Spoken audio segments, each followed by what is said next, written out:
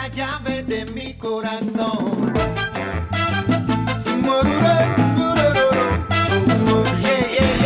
Yo soy de Ciudad Nueva y es de San Pedro de Macorís y no tierra de peloteros. Fuerza mi Sosa lives. Regresamos a Diálogo Abierto a través de la pantalla de Somos Televisión. Nos acompaña la tarde de hoy la diputada Isabel Lameda, quien es la, la vicepresidenta del Consejo Legislativo del Estado Lara. Hablábamos en el corte anterior acerca de lo que ellos han denominado el ataque cibernético que ocurrió por todo esto de los, de los apagones, el apagón, el gran apagón que se realizó en Venezuela. Yo creo que en toda la historia de Venezuela se había visto esto. Cinco días estuvo entonces Venezuela sin luz. Isabel. Y yo venía el- de seis, ¿se acuerda?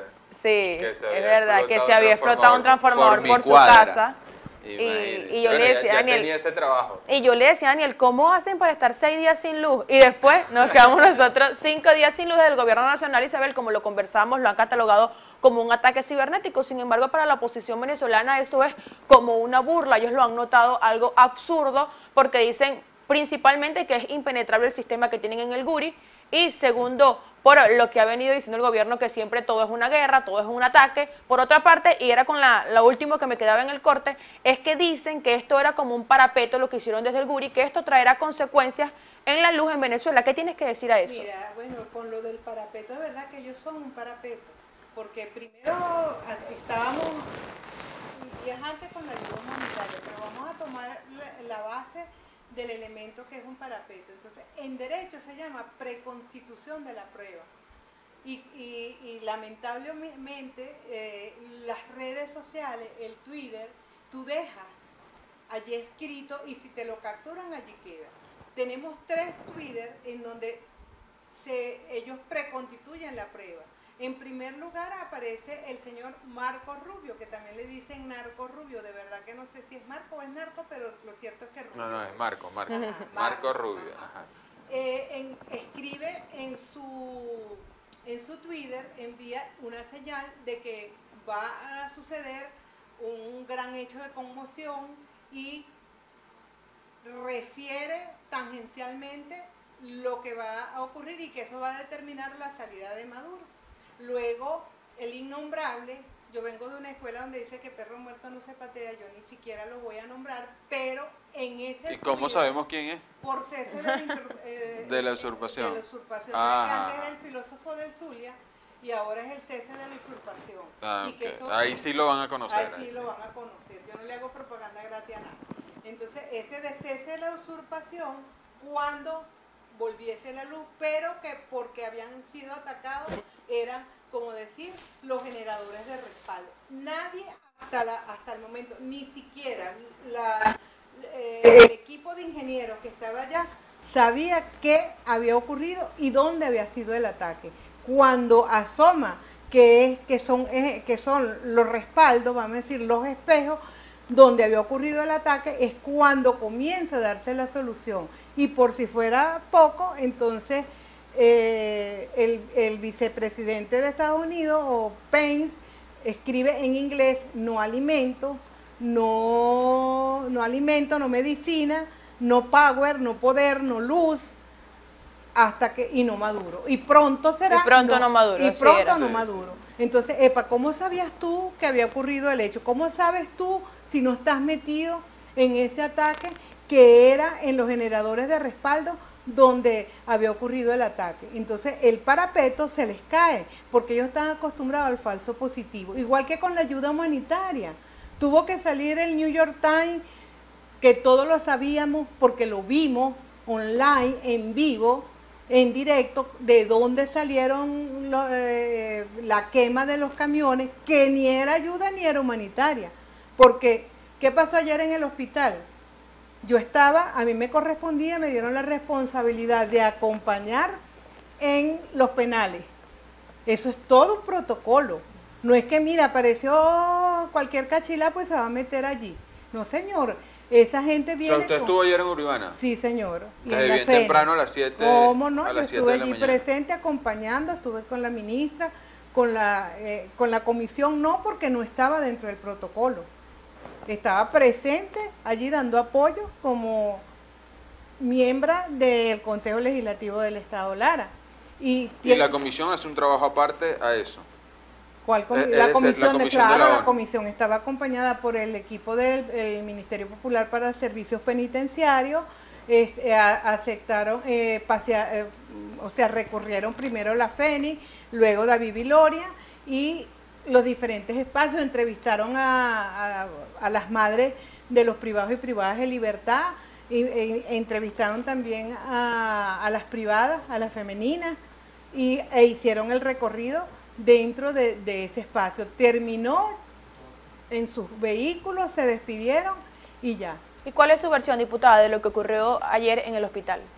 Bueno, es evidente, hay dos posiciones políticas, evidentemente eh, presentes allí, este, los médicos, como usted lo decía, en el, eh, yo estaba afuera escuchando, este, había una, una dirigencia política en este régimen que es una dictadura, que nadie puede hablar porque son perseguidos políticos, pero ejercen libremente. Vimos cómo desde un balcón arengaban, pusieron la, la bandera al revés, arengaban a los que estaban allí. Yo lamentablemente no estaba en el sitio, estaba cumpliendo tareas, como le digo, en otro espacio.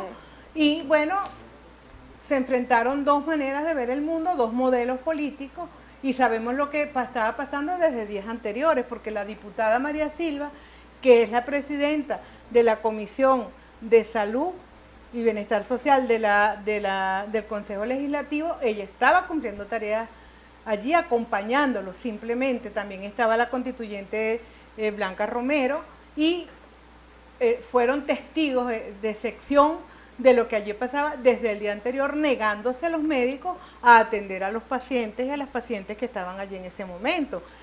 Se generó... Ah, cierto, esa noticia la, la vimos, pero que pudieron con médicos del CDI llegar hasta allí, hasta la emergencia y atender a, y se a los pacientes. No hay, mira, si usted es médico, hizo un juramento y llega un agente de emergencia, usted no tiene por qué preguntar si usted es de una tolda política o es de otra. Allí hay un médico, que eso llegó la denuncia al Consejo Legislativo, que en su Twitter expresó que, que todas las mujeres chavistas que Sí, llegaran las iban a hablamos de- esterilizar. de ese tema Entonces- hace- Sí, hace algún tiempo. se hablaba de ese tema. eh, son excesos.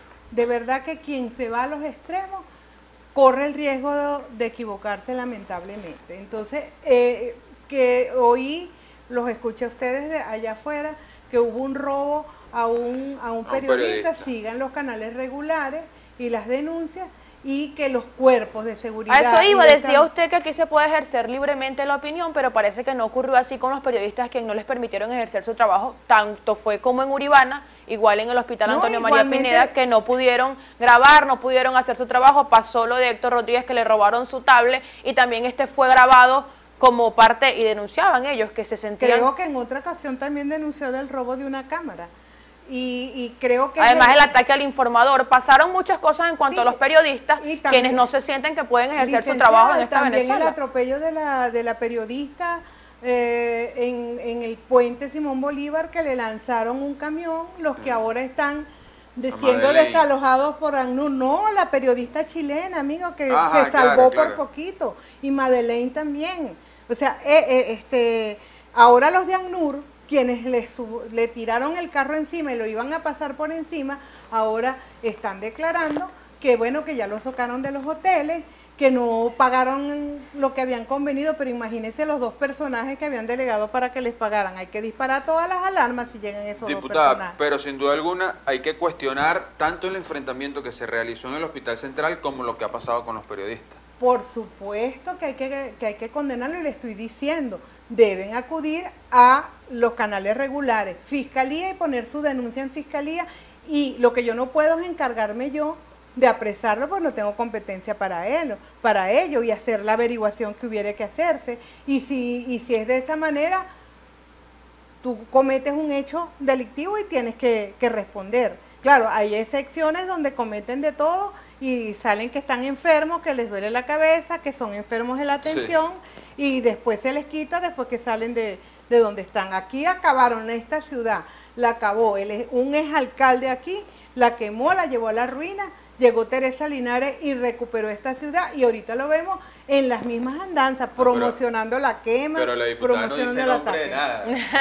Un ex alcalde, tantos ex alcaldes que hemos tenido No, el aquí. inmediato a Teresa. Ah, el inmediato a Teresa. Yo, no dice nombre, no, No dice no, señor, no ¿para le qué? dice nombre. si todos sabemos que ese señor fue Nerón, pues.